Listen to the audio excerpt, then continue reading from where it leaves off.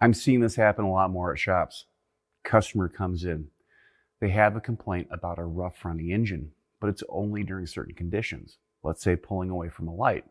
They notice a little stumble when they're going from, let's say, 2000 to 3000 RPM under load. When this happens, well, it's what's known as a fish bite or a general stumble. You scan the vehicle. There are no codes. You look underneath the hood. Nothing's wrong. So you don't feel too confident pulling the trigger on ordering parts to solve the problem. So go for a test drive. There are two tests with your scan tool that you can use. You can use a test called a power balance test.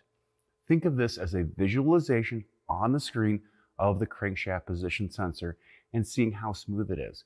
If you have any cylinder that's higher or lower, that's a sign that it's misfiring. The other one that you can use is the misfire monitor. If you use the misfire monitor, this tracks the misfires for specific cylinders. And back to our point about this one having no codes. A misfire monitor goes for a certain amount of engine revolutions. In other words, if that engine does not rack up enough misfires from that cylinder, well, it's not going to set a code. But you can see with that misfire monitor where the cylinder is misfiring and which ones are suspect. From there, you can do further diagnostics with the scope to look at the primary and secondary sides of the coil.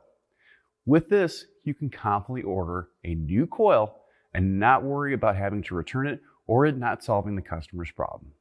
I'm Andrew Markel. Thank you very much.